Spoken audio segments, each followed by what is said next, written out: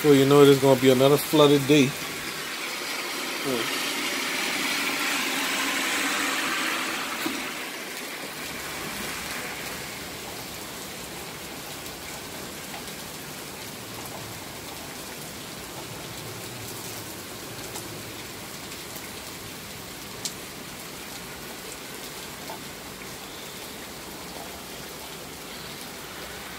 And I love a rainy day.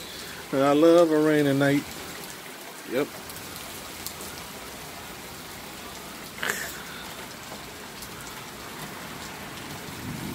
There's a bird flying.